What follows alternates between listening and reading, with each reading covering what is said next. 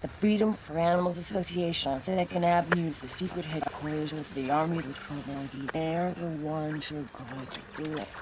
I can't do anymore. I have to go now.